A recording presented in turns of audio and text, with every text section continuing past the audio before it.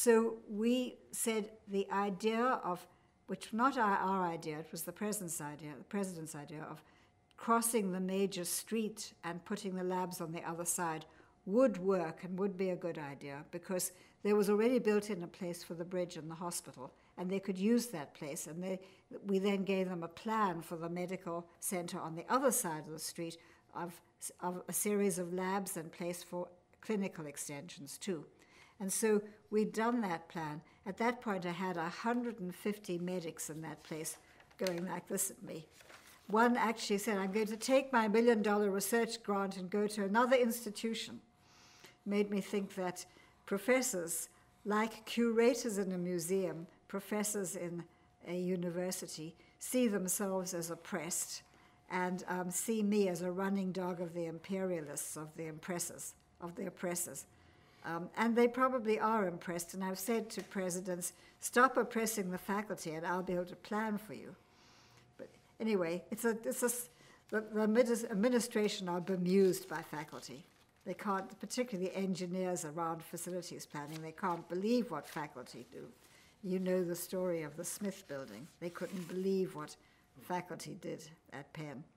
Anyway, so the, the question there was um, how could we convince these people that, in fact, they really did need to move?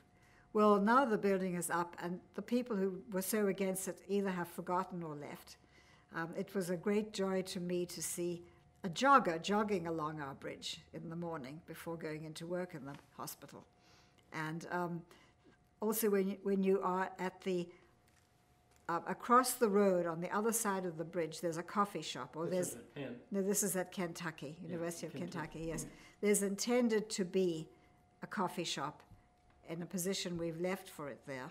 And the idea is that from the hospital you will smell the coffee in the morning, and this will take you across and help make that linkage which we're trying to make, this meeting of the minds. Don't forget Lehigh Valley. And then, yes, no, then I was going to go on from there. Um, we have been hired to be architects for um, the Allentown Museum, which is in Pennsylvania, um, north of Philadelphia, and it's in the Lehigh Valley. The Lehigh Valley is a very well kept secret. You don't quite know what the secret is, but they're doing very well, thank you, there. And they don't tell many people, and they have this beautiful uh, landscape and this beautiful campus of the university there, and things are going very well. At and at- well, yes, and, and the Lehigh Valley in general, it gets um, its support from New York and Philadelphia, and so it's a it's a hive of activity that we Philadelphians don't know much about, and it has this air of having a secret. Well, we were at an early meeting at the Allentown Museum, and a trustee came up to us, and he said, um, "I'm Elliot Sussman, and I went to Yale, and I took Vincent Scully's class in architecture, and I know all about you." Vincent Scully sent us more clients. And he said, and I'm, I love architecture, words to that effect, and I really wish you had done hospitals. And I said, Well, Elliot, you know, in a sense we have. And I explained to him exactly how we had done hospitals. We deal with the part that brings amenity to the public way inside the hospital and to the access. We try to work out the siting of hospital buildings and bring amenity to the access patterns and clarity.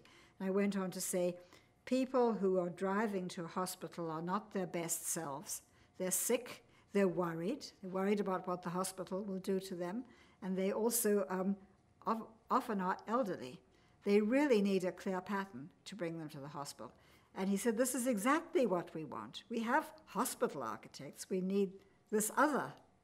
So he hired us then and there. Now we're just building our second hospital for him and now doing some other extra work after that, and a parking structure. And we do the ceremonial spaces and the basic layouts, much as we've done with the labs.